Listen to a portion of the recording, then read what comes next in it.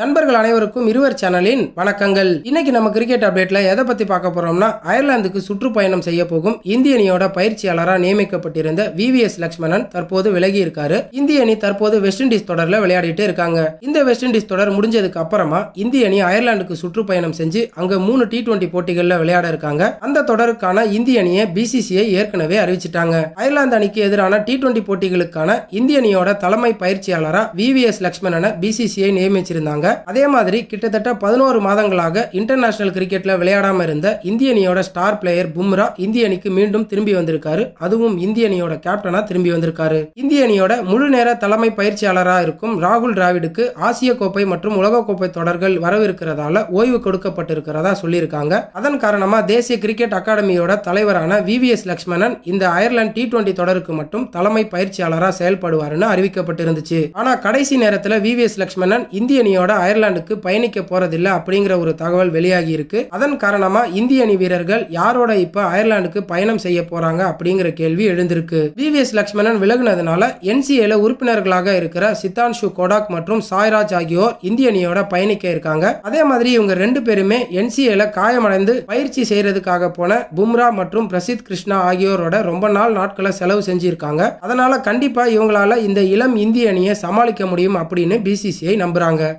ஏற்கனவே இந்திய அணியில் இந்த அயர்லாந்து தொடருக்கு சீனியர் பிளேயர்ஸ்க்கு ஓய்வு கொடுத்திருந்தாங்க.